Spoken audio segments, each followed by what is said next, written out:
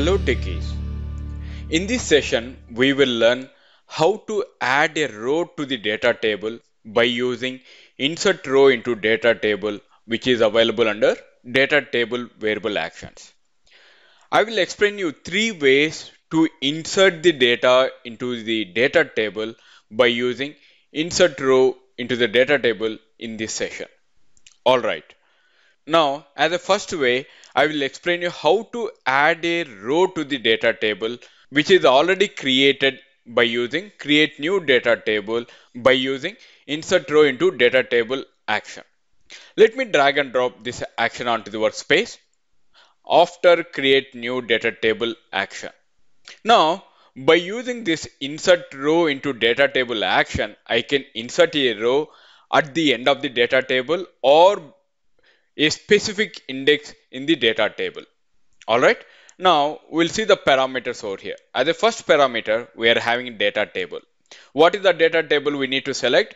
Which we have created by using create new data table action. So in our create new data table, we are having product data table as a flow variable or the output. And then I'm going to use the same data table over here. So I'm going to select product data table now I'm going to add a new row to this data table. So you can see over here into location, there are two ways that we have. One is before row index or end of the data table. If I'm going to select end of the data table, you are going to add a row at the end of the data table. Let us assume I'm having two rows in my product data table. If I'm going to select end of the data table, I'm going to get it as third row over here in my product data table. Alright. Now, if I'm going to select before row index, let's assume if I want to add a row at the index of 0 or 1 and so on. So in that case, I'm going to give the row index over here and then I'm going to add in new values over here. Now, to make you understand, I'm going to select end of the data table and then I'm going to give the new values over here. I'm not going to give any variable over here right now. I'm going to use the new values directly. I'm going to give percentage and inside the percentage, I'm going to give it as square brackets. And then in my product data table, I'm having five columns so that I need to give five columns over here with values. So I'm going to give the values over here as Sony is my first value that is product name. Another one product code, I'm going to give it as 007. Third column value, I'm going to give it as price. So that I'm going to give the price over here as 12,000. Availability, I'm going to say yes. And then for the Sony, I'm going to give it as a TV. Okay. This is the values which I have added for the product data table at the end of the data table as a row. All right, let me click on save. Now I'm going to disable all these five, six and seven actions where I don't require right now. I'm going to disable these actions. Now if you observe, I'm having a create new data table. I'm going to create a new data table with the product data table. If you open this one and I, if you're going to click on edit, right now I'm having five columns over here and three rows. And then at the end of this data table, I'm going to add one more row that will come as 3 over here and with Sony and 007 price is 12,000 and availability is S and the description is TV.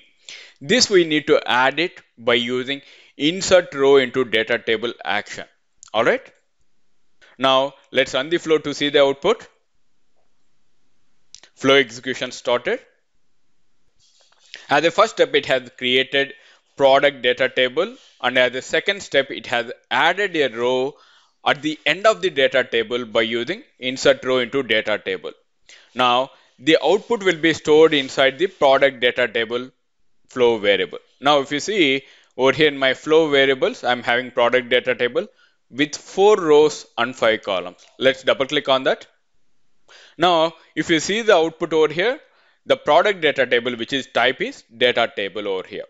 Now previously I had three rows with the product name Dell laptop, Realme and Sony headphones, right? We have added one more row with the product name as Sony and product code is 007 and price is 12,000.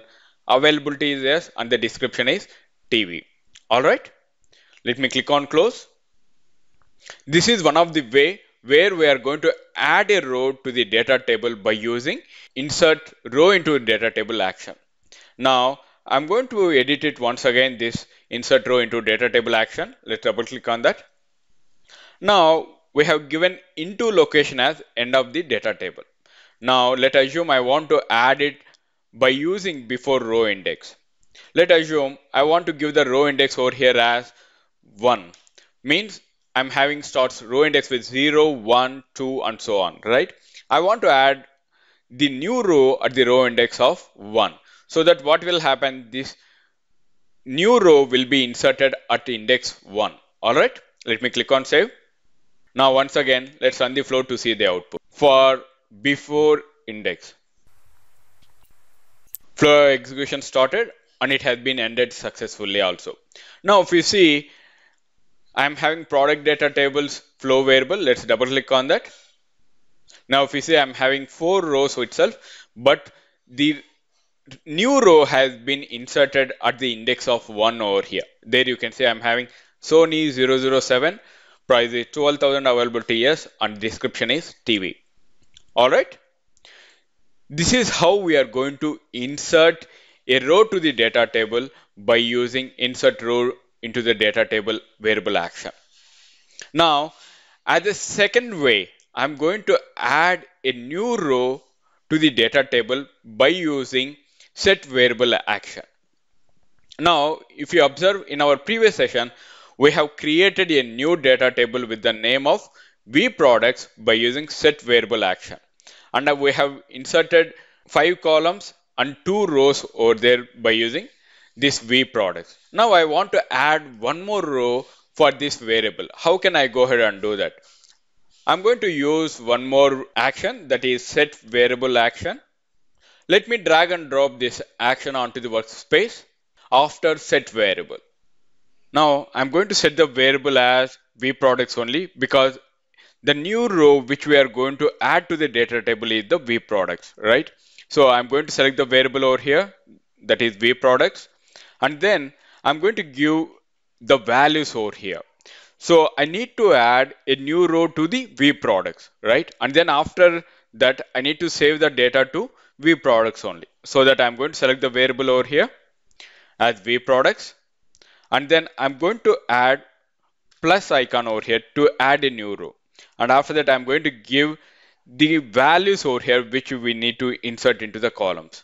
So I will say right now as LG and the product code I'm going to give it as 008 and after that I'm going to give price 25,000 availability yes I'm and then finally the description I'm going to make it as TV okay? And then I'm going to close this square bracket. Let me explain you once again over here for the V products, I'm going to add a new row into the data table with the name of V products. In my V products, I'm already having two rows and five columns. For that, I'm going to add one more row so that V products plus another row I'm going to add it and then I'm going to store inside my variable that is V products data table. Alright, let me click on save. Now once again, let's run the flow to see the output, especially for the set variables action. So in my set variables action, I am having V products is the flow variable as an output, right? Let's run the flow to see the output. Flow execution started. There you can see as a first step, we have created a new data table with the name of V products. There you can see I'm having V products. Previously, I had only two rows. There you can see I'm having product name, product code, price, availability, and description are the columns.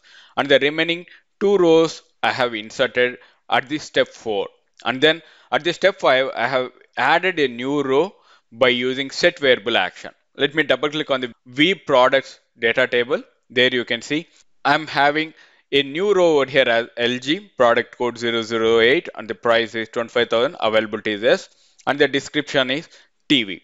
Alright. There if you observe I don't have any kind of indexing.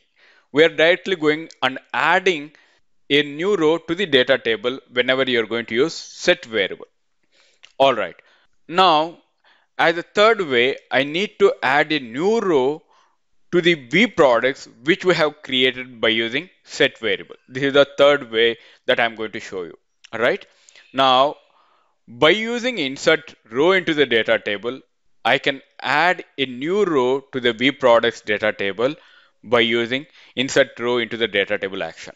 Now I'm going to copy the same action which is available in, the step 3 and then I'm going to paste it after you know set variable that is after fifth action. Now as the third way I need to add a new row to the set variable which is v products data table right now let me double click on the insert row into the data table action i'm going to change the parameters over here. What is the parameter previously we have used? That is data table. But right now our agenda is that I need to add a new row to v products data table. All right? I'm going to select the variable over here and then I'm going to select v products. And then you can see I'm having same parameters. I'm having into location and after that row index and new values. Right so what I'm going to do, I'm going to use before row index itself. I'm going to give it as one over here, row index one, and then I'm going to click on save.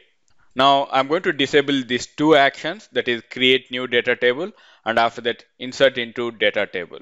All right, let me right click and then I'm going to disable these actions. Now let's run the flow to see the output. To insert a new row into the data table by using insert row into the data table for V products which we have created by using set variable action. All right, let's run the flow. Flow execution started. Now the flow has executed successfully. Now if you see in my V products that is flow variables, if you double click on that, there you can see a new row has been added for the V products data table at index 1. There you can see I'm having Sony 007 12000 yes and it is TV. And the remaining rows, if you observe in my set variable previously I had two rows. At the step 5 we have added LG that is at the index 3 and after that we have added a new row into the data table at index 0 that is Sony 007 right now what I'm going to do I'm going to add a new row at the end of the data table. I'm going to select into location. I'm going to make the changes over here as end of the data table now the row will be added at the end of the data table over here. Whatever the values we have given, it will be added at the end of the data table for the V products data table. All right, let me click on save and let's run the flow to see the output. Flow execution started and a new row has inserted successfully into the data table by using insert row into the data table.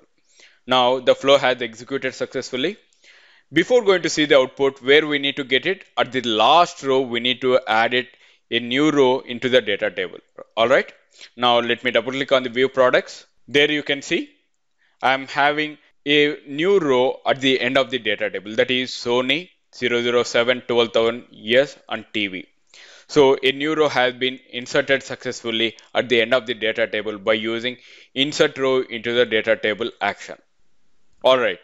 I hope you understand how to add a row to the data table by using insert row into the data table action as part of this tutorial.